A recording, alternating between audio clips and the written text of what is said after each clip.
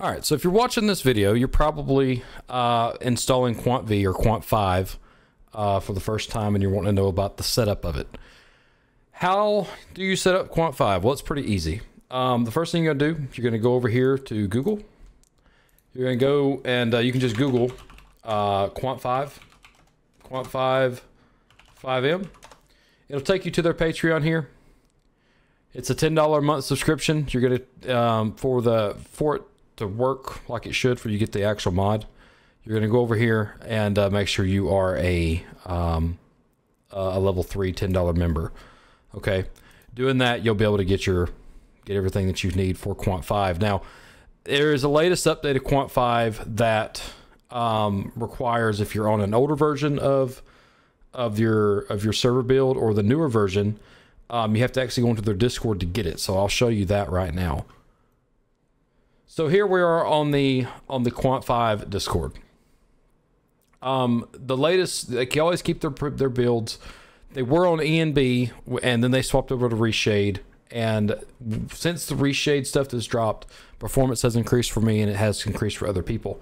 Therefore, um, when I was saying about the old game patch versus new game patch, you have to find out what your server build is on.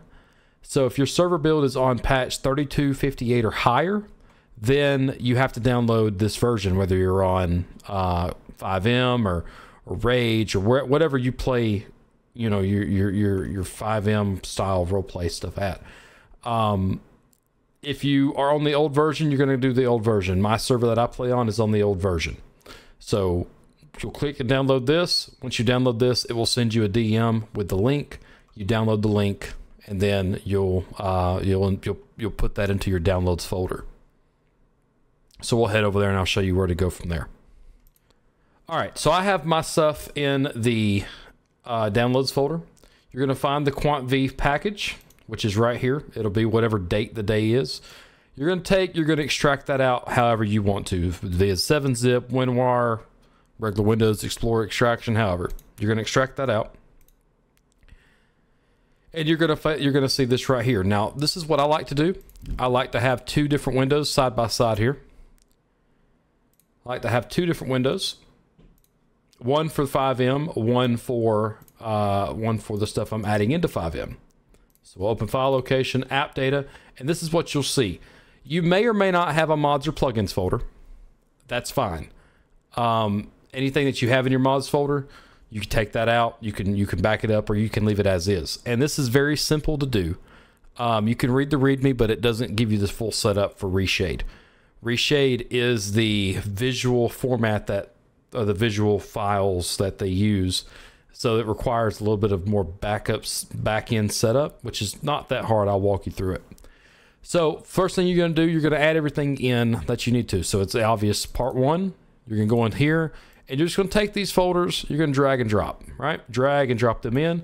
Once you do that, they'll be put into here like so. Your QuantV's there, plugins are here. Then you're going to go over to part two and most people use the NUI process on.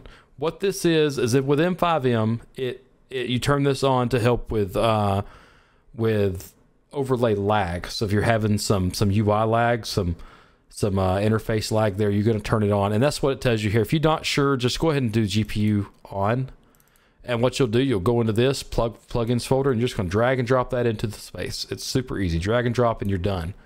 So one of the things that it'll do, and I'll show you this as well.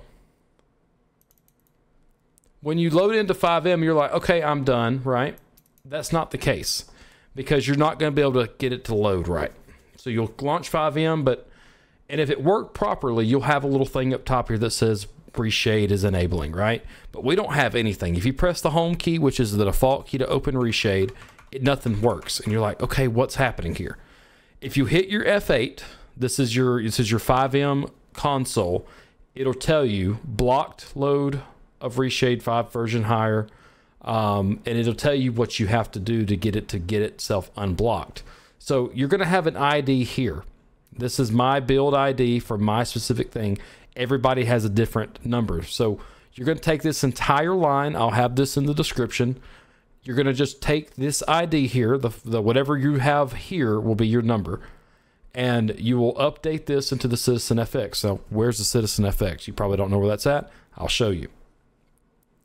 If you go back over to your app data that I was talking about before, if you go back over to your app data, once we're in the FiveM app data, you're going to look for the file that says Citizen FX config settings, or some people it may be it may say citizenfx.ini.